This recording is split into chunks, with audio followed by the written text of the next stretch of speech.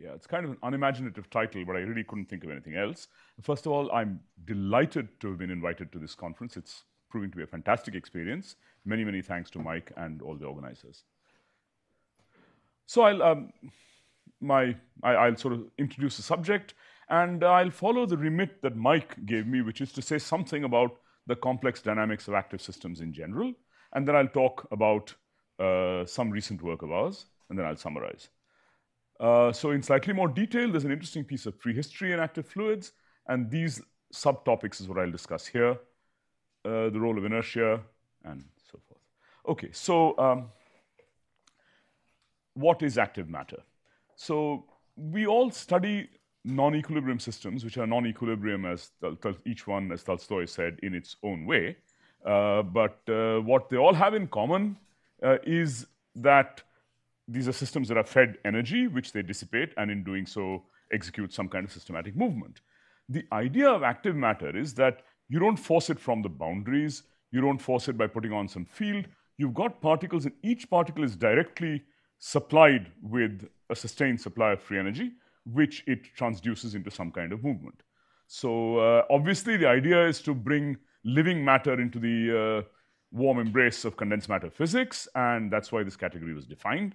Basically, each particle has detail balance broken at the particle level, and uh, collections of such particles we call active matter.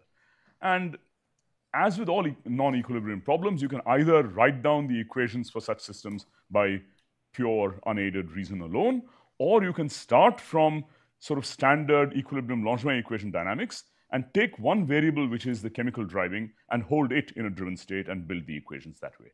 I won't do this, but uh, it's done in various places, one of which is in an article by me a couple of years ago. Um, so, what kinds of systems are we interested in? Apart from the cell biological and subcellular systems that we heard about in uh, previous lectures, we're interested in collections of self propelled things on any scale, from subcellular to uh, organisms like this to birds and so forth. I don't know why it's playing like this.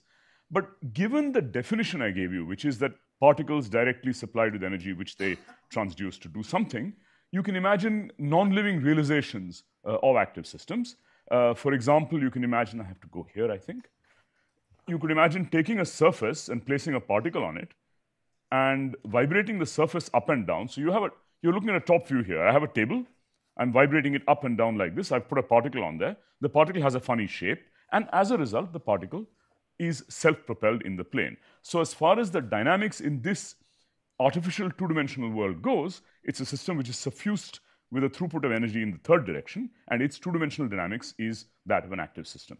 So it's legit to call this an active system, and it's legit to use systems like this to test your ideas on active matter. Uh, there are many other realizations, some of which I think Mike mentioned, like cattle, you know, rods propelled by chemistry. You could even imagine taking a two-dimensional, say a 2D metal or something, and placing two of its faces in contact with leads which are maintained at different thermodynamic conditions. So then again, you're pumping energy through that way. And the 2D physics of this should be some kind of active system physics, provided it's in the regime where it actually dissipates the energy. And this kind of idea has been used in understanding uh, so-called zero resistance states in um, 2D uh, electron gases and so forth. Anyway, um, I won't be talking about these. Obviously, the reason you should care about this is that you're trying to understand the emergent laws governing self-driven matter. You want to understand living matter as a physical material. Maybe you can imitate its functionalities. Maybe you can design clever materials. I won't really tell you about these in today's talk.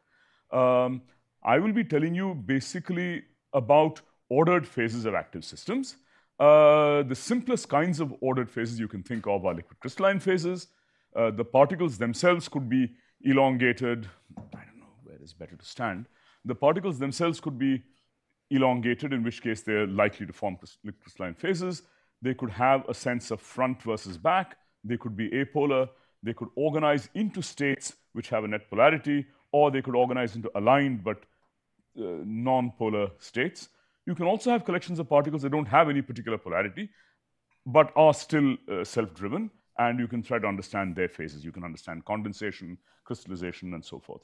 Uh, active matter is a subject which is blessed with a, an excess of review articles. Uh, that's my favorite one, but there are many other really excellent ones, uh, and do take a look at them. Um, one other important thing, apart from uh, the types of order and the types of particles, is the dynamical regime in which you operate. You can imagine collections of active particles in bulk fluid, or you can imagine collections of active particles. Uh, here, there's a binary mixture of sheep. Uh, in two dimensions, it's clear that their interaction isn't being governed by modes that travel through the Earth, but rather by contact and visual interaction and so forth.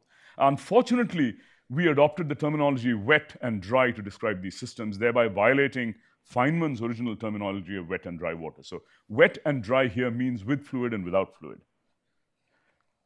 Okay, um, I told you I'd say something about prehistory. Um, people 50 years ago were interested in the question of what is the fluid dynamics of a collection of particles that are powered. So, Finlayson and Scriven actually discussed the idea. Their paper is actually called Convective Instability by Active Stress. So they invented active stress, not us, and a long time ago. And uh, they were fully aware of what an interesting problem it is. They, it is like they actually issued a kind of invitation to come work on this field. Um, they talked about motion without the intervention of outside forces. They said that the necessary engines operate in living systems. They, I didn't even know that people said complex fluids in 1969, but they did. These are all quotes. Uh, so they, were, they really were telling everybody to come work on it. They talked about artificial active systems by talking about polymeric and colloidal systems approximating living protoplasm. But oddly enough, this paper is almost unknown.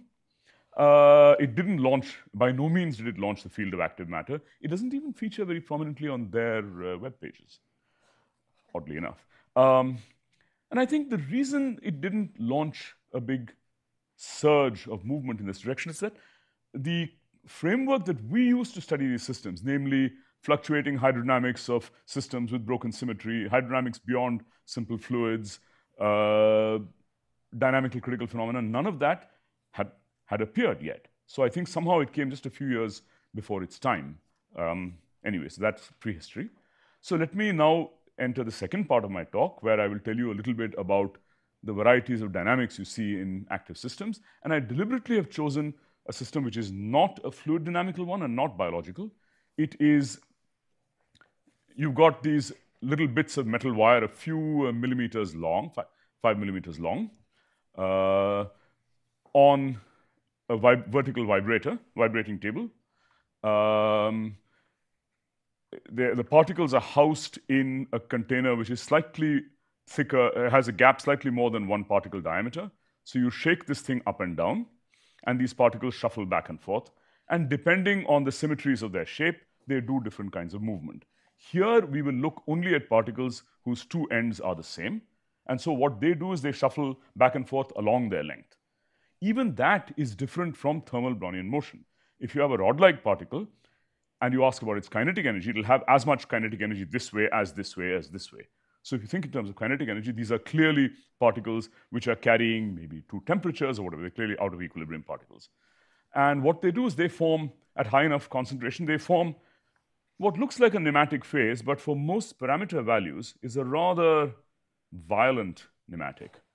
So what you see is a fair amount of nematic order, and then you see topological defects rushing around. So as far as I know, this is the first instance of active nematic turbulence uh, in an it came in a non-fluid dynamical context, namely this dry 2D uh, system.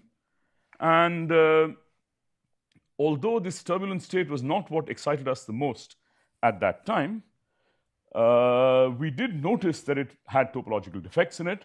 I think other speakers have already told you about the kinds of defects you can have in apolar systems. Their strength, strength half or minus half according to the angle you accumulate by going around one of them. You can also have integer strength defects, which I'll come to later. And if you, we looked at these systems and we noticed that we were looking for evidence of movement induced by curvature, and we noticed it is particularly pronounced around uh, uh, these defects. What you can see here is a plus half defect barreling along and a minus half defect staying put. Uh, the movie is not as convincing as a set of still photos. So you can see here that you have a plus half which slowly moves along and a minus half stays put. So uh, we find, found this mildly exciting at the time, uh, and we put a learned statement into the supplementary material saying that it's crucial for our discussion that the symmetry of the field around the strength minus half results in no net motion, whereas the curvature around the plus half has a polarity, and so it should move. Uh, so this was great fun, and uh, this was the active nematic. Uh, more recently, uh, this idea of uh, motile defects uh, we took up in collaboration with Suraj Shankar, Cristina Marchetti, and Mark Bowick to understand the dynamics, the statistical mechanics of an active nematic in which there are topological defects. The idea basically is you've got defects of strength plus half, I mean minus half and plus half, plus half. The plus halves and minus half interact with a pair force which is from a logarithmic potential, but the plus half has a self-propelled velocity. You can construct this description starting from the description of an active nematic, and then you can study the statistical mechanics of the system, and what you find is that even though the plus half is uh, motile, and therefore you might expect that if you had a plus and a minus, the plus would always race off and completely destroy the nematic phase. Uh, what happens is somewhat more interesting. First, let me just tell you the naive picture.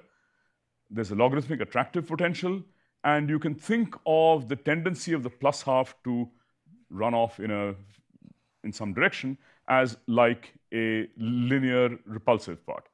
If you have a potential like this and you start a particle here, obviously it will always escape eventually with any amount of any small amount of noise. However, the point is that this picture holds only if the plus half maintains its heading all the way to the point where it reaches that maximum and escapes. So therefore, what you expect is that at high noise, they escape for, they're unbound for purely thermal reasons. At low noise, they're unbound because the plus half doesn't lose its direction and keeps going and crosses the barrier. So what you expect from this is that as a function of activity and temperature, you have, a, you have a melted phase at high temperature and a melted phase at low temperature for any non-zero activity. And uh, in between, you can have a nematic. So you have a reentrant melting transition. So I should emphasize that this picture of the active nematic is rather distinct from what you've seen in the earlier talks, which has to do with the hydrodynamic instability driving a bend, hydrodynamics driving a bend instability and producing motile defects. Here, the idea is if you have a defect for some reason, it is motile. And it's motile for symmetry reasons because it's got a polarity and it's out of equilibrium. So uh, this is one story. I will not say more about this. Let me now come to uh, active nematic with fluid. You saw these equations or equations like these in Luca's talk and possibly other talks. You have an orientation tensor, which is advectored, rotated, and flow aligned. It relaxes, it tries to relax to equilibrium in some effective free energy. You have a hydrodynamic equation, which here I've written without inertia, viscous force densities, force densities coming from thermodynamics, pressure, and one extra bit, which is a stress simply proportional to the degree of uniaxial order. So the idea here is that whereas at thermal equilibrium, a nematic phase with full alignment still has an isotropic pressure, an active nematic, simply by virtue of the fact that it has an aligned state, automatically has an aligned stress. So it has a non-zero deviatoric stress on average, Unsurprisingly, a system of that sort turns out to be unstable, as you will see. But anyway, basically, you take conventional liquid crystal hydrodynamics, you augment it by a stress proportional to the Q tensor. If you had particles, you introduce also a stress current, a particle current proportional to the divergence of the Q tensor, and you can solve these equations.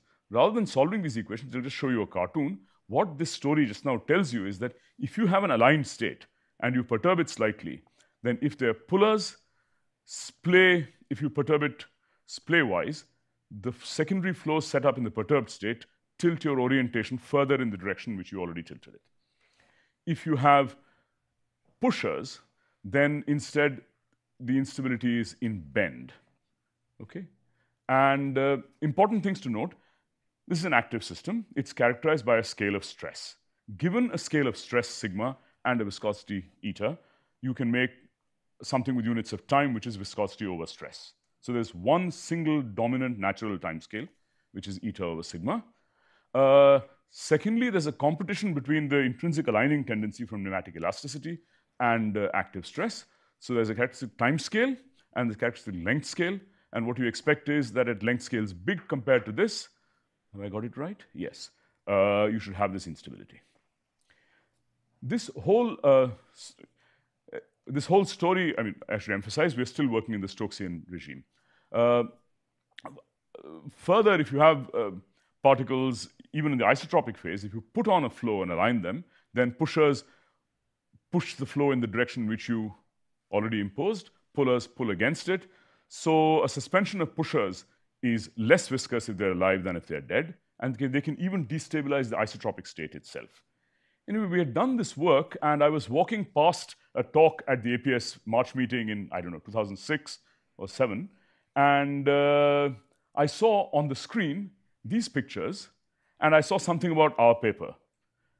And so I walked in, it was Mike giving a talk and saying, you know, there are these, Simha and Ramaswamy have done this rather interesting piece of work. So this was the basis for a friendship which has endured. I didn't meet Mike actually that day. So but anyway. You were way in the back. Yeah, yeah, no, and I had to go somewhere else. But uh, the, probably the first sort of computer experiment that confirmed our ideas was these beautiful studies by Saintillan and uh, Mike Shelley uh, a few years ago. And the first uh, place where I saw, no, maybe the second place where I saw active turbulence. The first was the bacteria. Uh, so, as I said, bulk active liquid crystals, Stokesian, are unstable and ultimately turbulent, and Zvonimir will doubtless tell you more about this uh, spectacular dynamics. There's a great deal of work on this subject. I really cannot uh, do any justice to it in this talk, especially if I want to talk about anything else. Um, uh, there's a nice review article specifically on active nematics. So now that closes the part of my talk having to do with the general complex dynamics of active systems. Uh, our interest in the rest of this talk is first to say that we've been talking, if you think of self-propelled things, they have a nose and they fall, they go somewhere. But I've been telling you about active systems which are essentially apolar. How much of a difference does polarity make? And later, as you'll see, how much of a difference does inertia make? So um, let's first go back now, step away from this hydrodynamic picture, and start looking at models based on little rules. You've got little uh, motile objects which uh, try to stay away from each other and try to line up with each other and maybe try to stay reasonably near each other. But basically, the aligning tendency uh, and the tendency to follow your nose results at high densities and low noise in a transition from a randomly moving state to a coherently moving state or a flock. So this was uh, has an interesting history from the movie industry, but is generally known as the Vicsek model, uh, in which they display a flocking phase transition. I'm telling you this because I want to tell you about the field theory that comes out of this. So if you take those ideas and coarse-grain them up into a continuum theory for uh, a vector orientational order parameter, which is the local average of the unit vectors associated with the particles, then you have two important features. One, there's a tendency to align, which in this coarse-grained picture comes from a free energy functional which favors a given magnitude of p and disfavors gradients between p's, and in principle uh, makes p align with concentration gradients, uh, presumably pointing away from the high density regions. Um, p not only is an orientation but is also a velocity, therefore it can advect itself. So p relaxes to equilibrium in a field given by this functional, but self advects. p being also associated with particle motion carries the concentration. In principle, these two coefficients don't have to be the same. The straight dope on exactly why they don't have to be the same can be found in some papers by us. Uh, it's a result A of. Yes? Okay. Didn't agree. Okay. So this is the, the picture of a dry polar flock. What happens to this if you introduce fluid? Uh, by the way, this has many interesting consequences which I will not discuss. And our question was, but this is not a mechanical description. This is a coarse graining of an agent-based, rule-based description. What happens if all of this takes place in a medium where you have to worry about your momentum? Okay, so um, we worried about this actually quite a long time ago at this point, uh, and uh, our recent work on it is uh, in a paper which you can find on the arXiv. Um, so as I said, remember, first of all, the moment you introduce fluid, in the Stokesian regime, the instability that I told you about a few slides ago kicks right in, but in a form modified by uh, polar effects. But uh, and some of those polar effects have been discussed by some of our friends. But uh, supposing you want to include polarity and you want to venture timidly uh, beyond the Stokesian regime. Okay? I'm not claiming that we can describe this system, but at least uh, introduce inertia and see what, what can happen. Okay? So if you do that, then at leading order in wave number, what you find is an interesting sound wave-like spectrum due to the coupled dynamics of orientation, concentration, and hydrodynamic velocity field. Okay, uh, and uh, the dispersion, the, these are these curves represent the speed of the waves. The, the, the radius vector from the origin to a point on the curve tells you about the speed of the wave in various in that direction. So you have coupling of splay and concentration, and bend and vorticity. Uh, but this was all, the only analysis we did back then was to leading, that is linear order in wave number. Uh, the question is, what is the full story? And it turns out the full story, although technically complicated, is rather interesting. So the complete uh, hydrodynamics of a, a, velocity field and a polar orientation field looks like this. You've got terms that you're familiar with, and you have stresses coming from conventional orientational ordering as in equilibrium liquid crystals, and you have a new bit of the stress, which is the active stress. So that new bit is that if you have a local polarization P, you have a local deviatoric stress or local uniaxial stress bilinear in P. Uh, the conventional stresses coming from the free energy functional I will not dwell on. Uh, the polarization field is rotated and advected and flow aligned, relaxes to equilibrium, and can advect itself. So putting these together, you get a fairly fo uh, forbidding set of equations. What we're going to do is we're going to simplify drastically. We're going to keep the simplest form of the active stress, keeping only the apolar piece. We're not, we're going to keep the simplest form of the react of the equilibrium reactive stresses. We're not going to worry about the concentration field, which is a potentially serious omission. And so what we'll be doing is looking at the coupled dynamics of the polar order parameter and the hydrodynamic velocity field. The polar order parameter advects itself. The hydrodynamic velocity field also advects it. It interacts, it can be aligned and it can be rotated, and it relaxes and the velocity field obeys a modified Navier-Stokes equation containing active and passive stresses that I described on the previous slide. Okay. Uh, what we've done is we've, the fact that the orientational order has a polarity enters here only through this term. In principle, we can put in the other terms that we had. It complicates the story without making it necessarily that much more interesting. Okay, and we will the case that turns out to be really interesting is the case of extensile or pusher swimmers. And the other point I want to make is that activity enters in two places. One is through the active stress, and the other is through motility, which makes the object uh, advect itself. In principle, in a coarse grained description, since I'm not Mike, I have the luxury of saying that these are two independent parameters. Exactly how they relate to a microscopic description is complicated because you can imagine swimmers whose main propulsion mechanism doesn't come from a force dipole, but which nonetheless have a force dipole. So that's my sort of uh, apologia for why I'm going to treat these two as independent parameters. Okay? What did I do? It's okay. Yeah. Uh, the, there are dimensionless quantities which are important. The first of all, from familiar from conventional liquid crystal physics, is this combination which can be thought of as the ratio of the diffusivities for the director and for vorticity, or equivalently can be thought of as a ratio of the nematic elastic constant, which has units of force in three dimensions, to Purcell's force scale for a viscous fluid.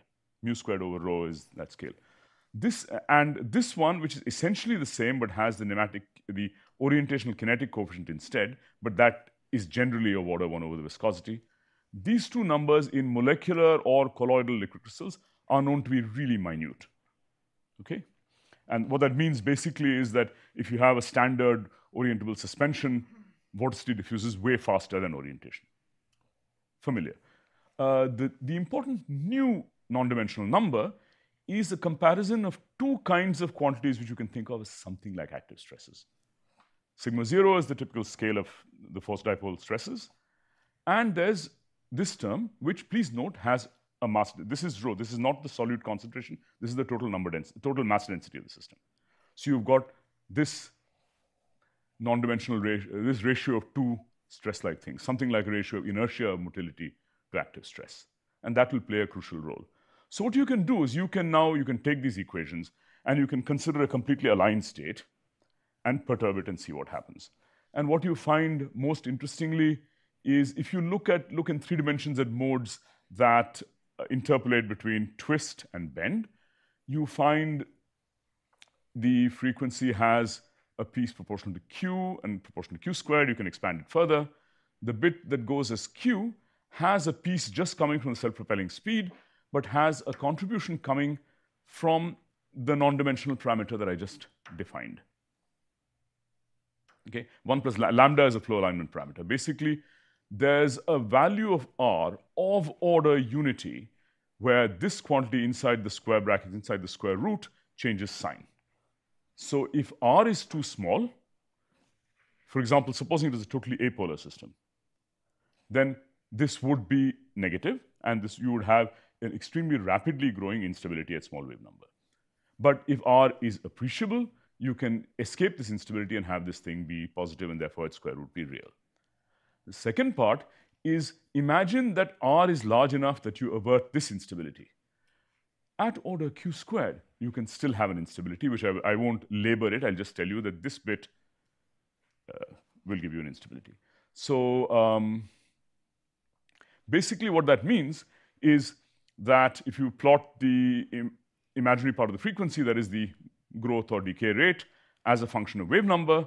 If our non-dimensional Reynolds-like number is small, you have an instability which seems to go to a non-zero value as, at zero wave number, but in fact, at wave numbers uh, small compared to the scale where uh, the active waves uh, inertia dominates over viscosity, goes down and you have a, a growth rate of order q.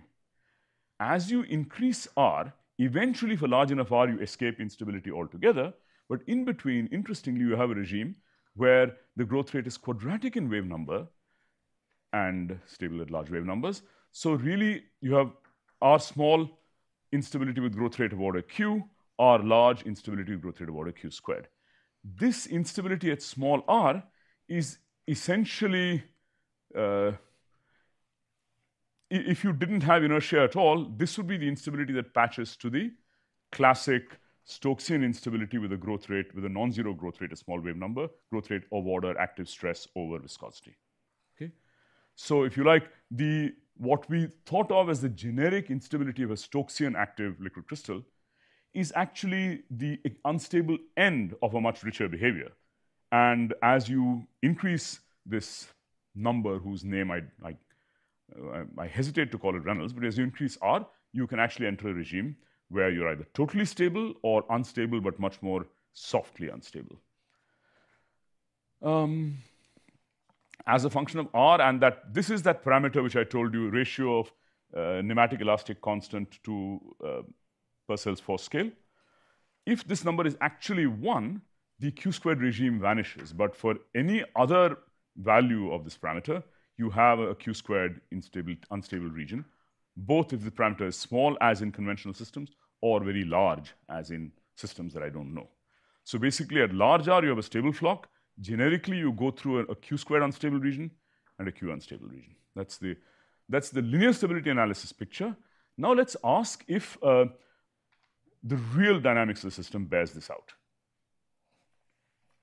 And uh, so we've done numerical simulations in two and three dimensions.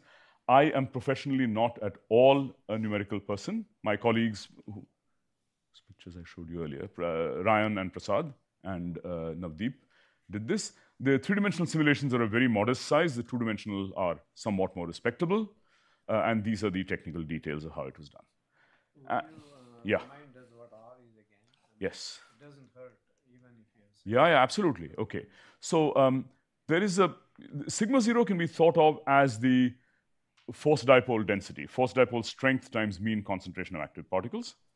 V0 is the self propulsion speed. So it's a ratio of something that looks like an inertial stress associated with the self propelling speed to a force dipole based stress.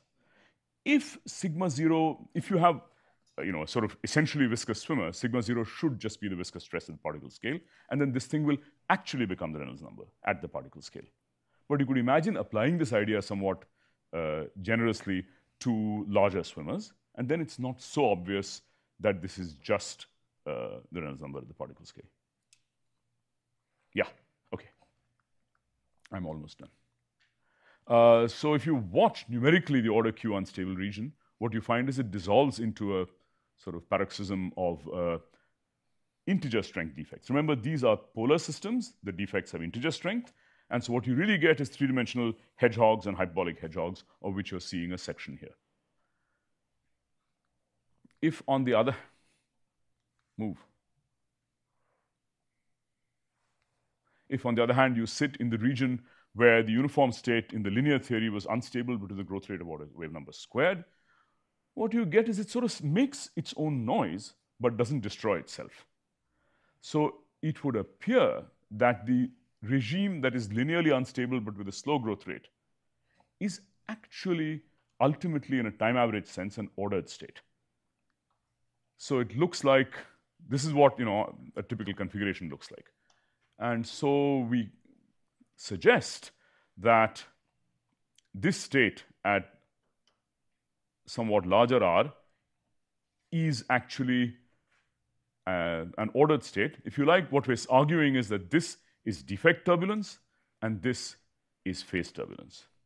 Okay? We haven't done a formal analysis to show this. What we have done is to measure the orientational order parameter. So you've got your particles, you've got not here, you've got your orientation field P, you do its macroscopic time average and look at it as a function of R and uh, despite the limited range of our numerics, what you see is a quite clear onset uh, as you increase R in the region around R equals 1 from a state with average P equal to 0 to a state with average P clearly non-zero. If you measure the orientational correlation function as you increase R towards 1, uh, the correlation function decays more and more slowly with some structure here which we don't understand you can, again, you know, this is not data over huge decades, but you can collapse such data as we have onto a single curve by choosing a length scale, a length scale either from an exponential fit or from the area under the curve, doesn't really matter. And if you plot that length or the inverse that length against r or 1 over r, you can see that there seems to be a fairly systematic increase in that length as you approach r equals around 1. Again, not a huge range of increase in R in the correlation length, but there it is. So there seems to be a flocking transition from a highly noisy defect-ridden state to a noisy but still average, uh, still ordered state. So that's the major finding here. Um, so I will actually summarize. We have done measurements of things like the nature of turbulence. I'll say a little bit about it. Basically, what we found, I guess, actually is three kinds of active turbulence. The one I showed you at the beginning, driven by motile defects, and two kinds of turbulence in wet systems. In the dry systems, uh, the motility of the plus one half defects drives melting and some kind of chaotic state. The melting is reentrant. Uh, in a flock in fluid, inertia seems to help stabilize the system.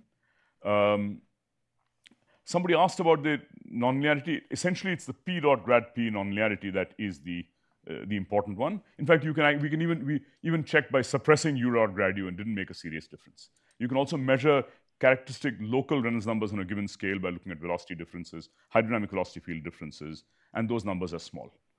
Um, so we've argued that the generic instability of active liquid crystals is actually the defect turbulent phase of a larger phase diagram. There seems to be a phase a non-equilibrium phase transition from defect to an ordered phase turbulence. Among the things we're really interested in is the following. So now, you know, if you go back, I have one minute, which is good. Uh, let's say if you go back oof, here, if you look at this growth rate picture, you can say that this defines a characteristic wave number scale, and on wave numbers much smaller than this correspond to the long wavelength theory. You can say, look, you know, I won't look at any of the stuff over here. You know, supposing this was Kuramoto-Sivashinsky. I would say I'll take all the modes from here and treat them as the fast modes and ask for the effective theory for the slow modes here. What is that effective theory? It's a great project, but it's a daunting one. We haven't done it. And that would tell you what the effective stochastic PDE governing the long wavelength system behavior is. if you look over here, on the other hand, if you make measurements like turbulence measurements, if you measure energy spectrum for the velocity field or the orientation field, you find, you know, uh, broad spectra, but we've not done a serious analysis, and by no means have we done a serious attempt to explain them. But they're there. I can show, show them to you if you like. Um, and, uh, and we have certainly not tried to construct fluxes and figure out what they do. So these are all things that, oh, excuse me, that remain to be done. We don't have the effective long wavelength theory. Is there a cascade? Any of these things. And in both these, uh, it would be really interesting to have experiments. The experiments in the dry active nematic case are rather challenging because uh, those systems tend to be dominated by the coupled dynamics of the orientation and the number density, and we have neglected the number density. So it might be easier to do it in direct numerical studies of a nematic, active nematic with birth and death or a PDE. So uh, with that, I'll stop. Thank you for your attention.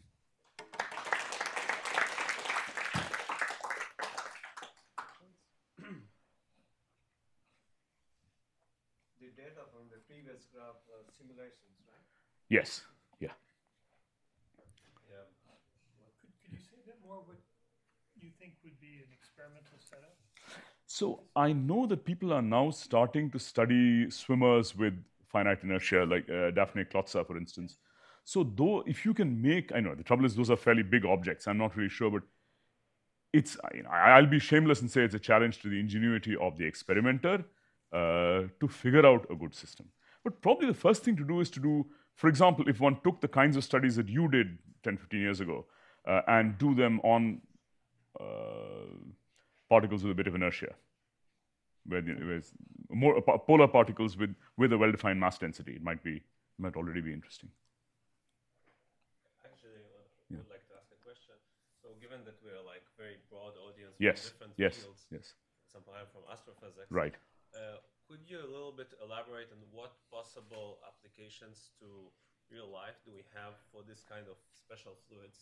Okay, so um, you know the part of the for for many people in this field, the motivation actually came not at these length scales, but at cellular or subcellular length scales in trying to understand the mechanics of a cell. If you take even one cell, it's full of filaments and motors. So that one cell, or even the one nucleus, as Mike pointed out, is an active object. If you want to, if you want to understand what makes it sit, spread, stretch, divide, all those things, the mechanics you have to do is the mechanics of a system in this state of constantly eating energy. So there's that. Um, certainly, people hope to devise artificial systems in which you can control the activity, maybe by light, maybe by other fields, in such a way that you've got objects that are autonomously movable, and then you try to direct their emotion by various means to deliver various things. People claim these things. I don't know whether it has gone beyond statements to funding agencies and in the last paragraphs of review articles. Our own motivation has really, our own motivation actually came because of my general interest in liquid crystals. And I had seen the flocking literature. I said, wait a second, we should do hydrodynamics of flocks in fluid. And very interestingly, as an illustration of universality, exactly the equations we wrote down trying to think about ori- uh, oriented states of organisms reappeared a few years later in the Curie Institute people's work when they were trying to describe something inside one cell. So I think there's a nice lesson there. But I think the major interest, yeah, excuse? But so certainly cell biology is probably the most likely place. And this framework has certainly been used there, not only in cells, but in tissue and so forth. At some point in one of the initial slides, you mentioned active quantum method. What did you mean? Okay, so let me tell you, I don't even need the slide there. Uh, I, can, I can show you the slide just to show you the, the, the uh, yeah, yeah. So um, uh, it wasn't a completely random statement. Just a moment. No, no, I'll, I'll, I'll show you. I, let me just go to that picture. I just want the picture in front of me because I can point to something. Sorry? There's, I think there's a refractory period for you. Yeah, yeah. No, it's particularly if there are slides with movies, then it's very refractory. Yeah. So what I was saying here is the following. So if you have a, a 2D system, say a 2D electron gas, and you rain something on it, microwaves on it, and then you ask, in that state of a sustained throughput of energy, what dynamical equations will you write down, let us say, for charges and currents in that system? So people have found uh, in 2D electron gases suffused with microwaves, they found uh, these things called the zero resistance and negative resistance states. Those states were nothing but flocking of electron currents because the state of zero current was linearly unstable. They even analyzed those experiments using Toner-Tu style flocking models, modified by the presence of a magnetic field and by Coulomb interaction. So these were quantum electrons, not classical. Well, you know, it is a real system, and therefore it is real electrons. Yeah. I'm, I'm trying to understand this. Orientation is just a vector, right? Yes. It's an angle. So I don't understand how. use the microphone. Which one? What? Yeah, sorry. Uh, Yes. and you get in Navier-Stokes equation acceleration proportional to orientation, and this I, I'm, I'm No, no. So, okay, let me be more precise. If you have a local, or if you have a collection of oriented objects, each of which has a built-in force dipole on it, okay. then you will get a local strength, uh, stre- uh, stress bilinear in the orientation vector. Yeah, but it, it has these two directions the same, namely, yes. it doesn't know which way to go. Exactly, and that's why you get a stress. Okay, so it so must be PI, sigma ij proportional to pi. So it must Pj. be divergence of, of this stress which would give you uh, acceleration. Okay. Yes. Um, uh, very interesting for further discussion, maybe in the discussion section. Uh, I will be talking today about uh, data assimilation. So data assimilation, and also known as filtering in its uh, sequential form, uh, is a framework for state estimation and prediction in dynamical systems that is used indis- indispensably in real-world forecasting applications such as weather forecasting. So the, uh, the, the general setup here is that one has a uh, characterization of the state of, of a dynamical system through some probability, uh, probability distribution, which is advanced forward in time by means of some model, uh, some kind of dynamical model, let, us say like a Navier-Stokes equations would be um, Navier-Stokes solver, and it produces some probability distribution later in time, and then at some point there is a measurement that is made, and that probability distribution is updated to a new distribution about, about the state, and the measurement here usually is not, uh, it's a partial measurement in the sense that it, one doesn't have access to all the degrees of freedom uh, of the system, and essentially by an application of Bayes' theorem, this yields an updated probability distribution. And this procedure is repeated, and the idea here is that even starting from a fairly uncertain distribution in the beginning, after several iterations of this step, this procedure, one can get a very um, uh, highly accurate characterization about the state um, of the system. So, uh, as I said before, this is uh, used indispensably in many techniques involving turbulence. Weather forecasting is, is, um, is one example. It started in, uh, um, in the work of uh, Kalman. Now, conceptually, at least, uh, as a qualitative uh, picture, uh, this, uh, the data assimilation procedure resembles some aspects of another highly successful theory in modern science, namely quantum mechanics. So, in quantum mechanics, one characterizes the state of a system by um, something called the density operator. I will describe this in more detail later on. And there is a um, uh, dynamical flow, so there is some unitary dynamics by the Heisenberg evolution operator that advances this density, um, density operator or density matrix between measurements.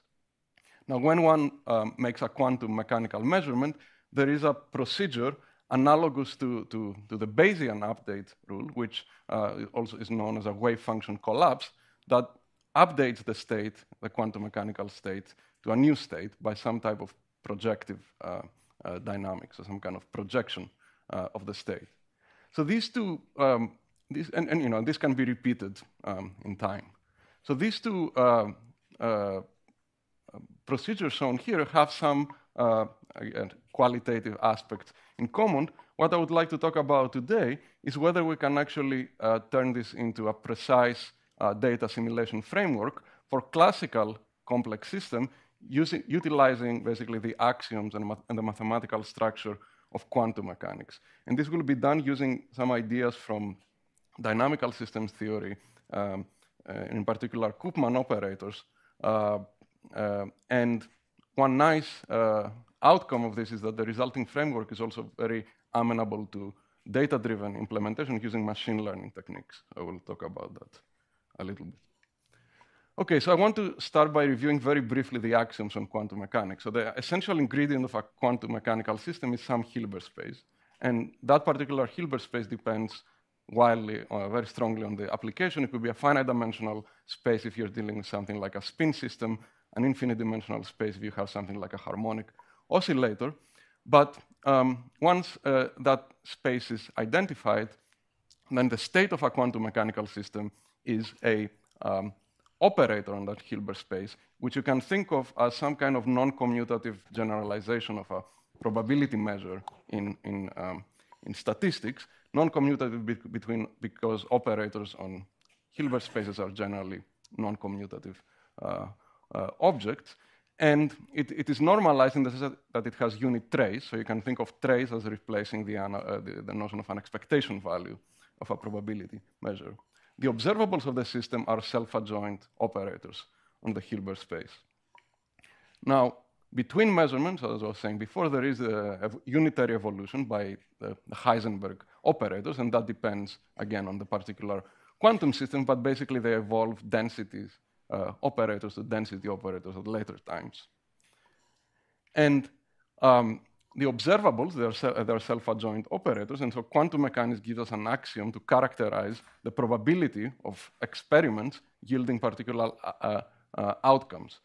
So here, the central object is the so-called spectral measure associated with a quantum mechanical observable. You can think of it again as some kind of operator theoretic or non-commutative generalization of a Fourier uh, power spectrum, which is uniquely associated to, a quantum, to each quantum mechanical observables, and basically, um, the, the, the statement here is that all possible results of a physical measurement are necessarily elements of the spectrum of that operator, which is a subset of the real numbers because it's a self-adjoint operator.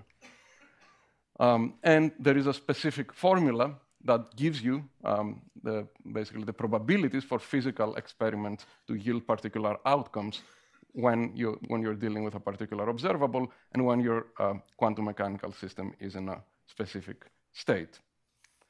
And finally, there is an axiom which is the analog of the Bayesian update rule, which tells you how to update your, uh, the state of the system when an actual measurement, um, an actual measurement is made. This is uh, some type of uh, projective, uh, projective dynamics that uh, depends on, uh, on the spectral measure of the observable being, being measured. So this is basically the standard formulation of quantum mechanics as developed by Dirac and, um, and von Neumann. Now we want to connect this with uh, data assimilations of uh, statistical inference, in essence, of a classical uh, dynamical system. And we're going to do this using ideas from um, operator theoretic or ergodic theory, in particular Koopman operators. So what we consider uh, in general that we have some classical dynamical system that uh, evolves in some state space. Um, this can be, again, pretty general. If you have a system of ODEs, this could be RD, if you have the coupled ODEs, or if you have a PD, this could be um, a function space itself. Uh, and on the, sorry, so on our, on our um, state space, we have some dynamical evolution map that you can think of as the solutions of your ODEs, if that's what you're, you're dealing with. This is in general a nonlinear object. Um, uh, but for this system, we can identify naturally a Hilbert space uh, if, if, we have uh, the, the, if, if, the system is measure preserving. So there is some notion of statistical uh, equilibrium. So it has an invariant probability measure mu, and there is a natural Hilbert space, which is preserved by the dynamics, namely the L2 space of functions, real or complex valued functions, on the state space. So these are classical observables, which are square integrable. Um, and on that space, there is a unitary operator acting called the Koopman operator of the dynamical system. So it acts on observables, on classical observables, by composing them with a dynamical flow uh, in this manner. So that's a unitary linear operator. Um, and we're going to assume that we're doing data assimilation, um, measuring uh, uh, at every step uh, some again, a classical observable of the system, which we're going to take to be a bounded, uh, a bounded, a bounded function. Okay, so now we have essentially the main ingredients to uh, just transcribe the quantum mechanical axioms and build a data assimilation framework for, from, from those. So we're going to treat, um, uh, even though the, the, state of, keep making mistakes here, uh, uh, state of a classical system is typically a point in its state space, in data assimilation, we're interested in the statistical state of a system. We're going to describe it here uh, with a density matrix, a density operator, uh, exactly as in quantum mechanics, um, which will act on the L2 space of the dynamical system. We're going to, again, consider, quote, quantum mechanical observables as self-adjoint operators um, on, on, um, on L2, but note that if we have a classical observable, so a function uh, in L2, we can associate to it multi, an, an, operator that acts on other functions on L2 by multiplication. This is familiar also from quantum mechanics when you have something like the position operator, which just multiplies the wave function uh, by, by the position. So we're building basically quantum mechanical observables from classical observables um, uh, in this manner. And uh, now the, the, the, natural analog now for evolution that replaces the Heisenberg operator in quantum mechanics is the Koopman operator. So we can use the Koopman operator to advance um, the density operator in, in times. So that gives us a way of making forward evolution um, between, between measurements of the system. Um, and uh, we also have um, you know, a similar axiom uh, as in uh, basically well, we have the spectral, uh, spectral decomposition of, of self-adjoint operators. And again, we can use that to, uh, to state that whatever, whatever measurements we're going to take are going to lie in the spectrum of our observable. And if we happen to deal with a classical observable after we're after doing classical uh, data assimilation of a classical system, well, the spectrum of a multiplication operator is nothing but the range of the function that we're measuring. So this is, this is consistent.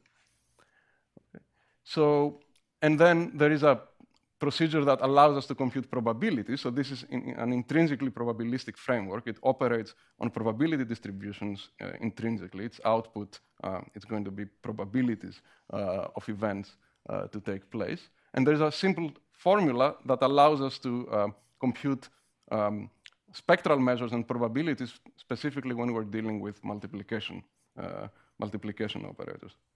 So finally, there is the, the, the update rule, which replaces the, as, as before, the, the Bayesian um, update uh, step by um, projective dynamics uh, acting on the, on the uh, density operator. So essentially, using this uh, Koopman language, what we've, what we've been able to do is just uh, create, uh, at least on paper, a procedure that for data assimilation that more or less transcribes in an identical manner the, the axioms of quantum mechanics. I mean, the, the question one might ask is, why would you, do you want to do that?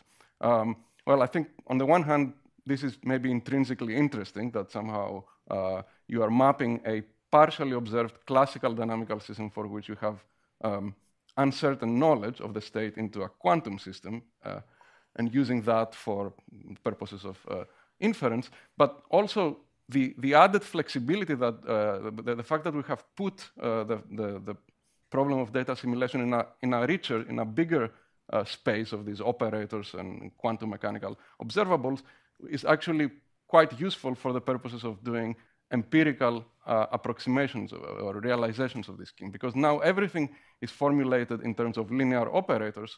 We have a lot of machinery to do approximation of linear operators. And this can naturally address some problems that one encounters in classical, uh, uh, classical data assimilation, for example, non-Gaussian uh, behaviors and so on.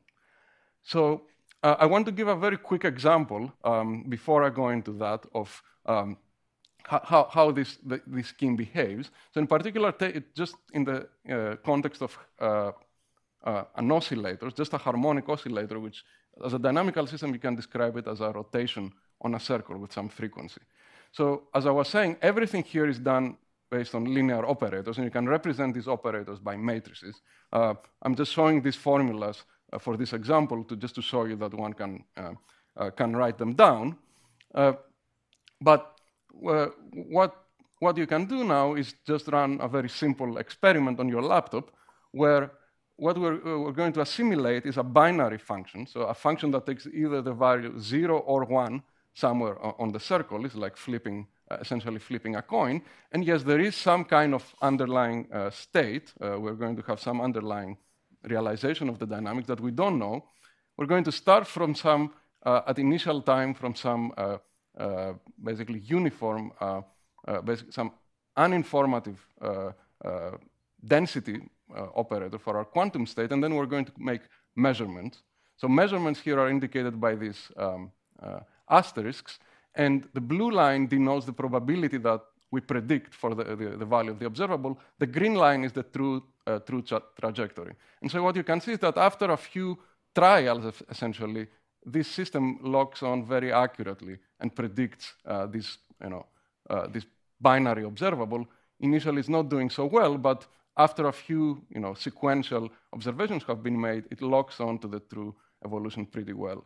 And you can make this more challenging by modifying uh, your, um, your assimilated observable to only take the value of one in, in, you know, for, for short amounts of time, creating this sort of spiky signal. And eventually, again, after a few measurements, it's able to lock onto it uh, pretty well. So this is just a basic, uh, basic example. Um, we, uh, uh, we have, you know, in, in, um, in, in, recent years, we have been working extensively on uh, developing machine learning-based methodology for approximating Koopman, Koopman operators. I don't have time to go um, over that here, but i will be happy to talk about it uh, later if anyone is interested. But basically, the idea is that we create, um, using kernel algorithm, sort of customized Fourier basis for um, our uh, L2 space of, of, of, our dynamical system, and then use those bases to represent linear operators as matrices in a controlled manner that can be refined as we collect uh, more and more data. Um, so using this framework, I just want to show one example for a um, system that was mentioned also in the previous talk, namely the Lorenz uh, 63 system, which has um, um, chaotic dynamics. And uh, one of the challenges here is that due to the nonlinearity of the dynamics, you have highly non-Gaussian statistics. In fact, all the probability measures are supported on this fractal uh, uh, attractor that Fabian showed also at his, his talk. That makes it very challenging from the point of view of designing um, uh, a data assimilation scheme. This is just some uh, example of our basis functions that the kernel algorithms produce for the Lorenz attractor, these are mathematically well defined. Um, you can think of some type of Fourier basis for the, for the Lorenz attractor that you can use to represent other operators and solve different, uh, different problems. So this is the result, um, uh, oops, uh, the result of um, doing data assimilation with the scheme of the x-coordinate of the Lorenz uh, attractor, basically observing only the x-coordinate. This is time here. Colors show logarithms of uh, predicted probability uh, uh, uh, density. And the red line is the true signal. So we start again from some uninformative state. And then as we make measurements, this, uh, you know, basically our probability, predicted probability collapses down to something that over time, um, even though initially we make some mistakes, there is some bimodality here in the distributions, over time it improves and it tracks the, the, um, the you know, true state of the Lorenz 63 system in, in, in, a fairly accurate manner. I should say that the observations here are separated by about one Lyapunov uh, time scale, so th there is some increase of uncertainty in between, between measurements. So yes, for the one minute, uh, I just want to, um, before, before ending this talk, I want to, I want to mention one real-world example. This is in work with uh, Joanna Slawinska, where uh, it's a real world example and you know, turbulence uh, in, in, in, some level, uh, maybe not in necessarily what we have been talking about at least today, uh, plays a role. This is the El Nino Southern Oscillation, or ENSO, in the climate system. Here we, we, we are, um, this is preliminary work where we have applied this scheme to um, assimilate this phenomenon in a climate model. So the El Nino Southern Oscillation, as the, the word might say, is an oscillatory pattern that appears in the tropical equatorial Pacific, and it manifests in terms of the El Nino events, which are basically warm sea surface temperature anomalies in the eastern equatorial Pacific, and cold events, uh, these are the so-called La Nina events, uh, where the, there's sort of the opposite situation. And what we're doing here, we're designing an experiment where um, we measure these so-called Nino indices. These are averaged SST sea surface temperature values in different parts of the Pacific. So you, you could consider this as a data assimilation experiment with an extremely coarse observational network consisting of only like four uh, grid points in, in, in, these boxes. And what we're trying to infer uh, from that is uh, one of these indices. It's called the Nino 3.4 index, which is representative um, of the El Nino, um, Nino phenomenon. So this is the, um, um the output of this. This is showing um, assimilations basically happening on a monthly basis.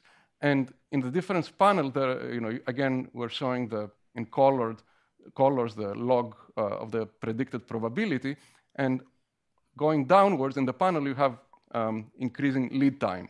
So basically, you start from a situation which is highly certain at early times, and you know, naturally, um, you know, uncertainty increases. These probability distributions become broader and broader uh, until eventually, at some point, predictability um, is lost. But it seems to be, you know, working at least um, in these preliminary results in a reasonably uh, um, good manner, providing a meaningful representation of un uncertainty. So I'll leave our uh, these conclusion slides here, and thank you very much.